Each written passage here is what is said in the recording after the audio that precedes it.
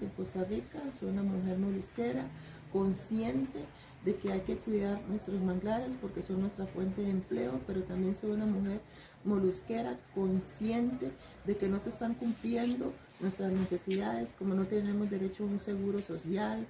tampoco tenemos derecho a una jubilación, nuestro trabajo, no tenemos derecho a un trabajo digno y decente que cumpla con todas las necesidades que,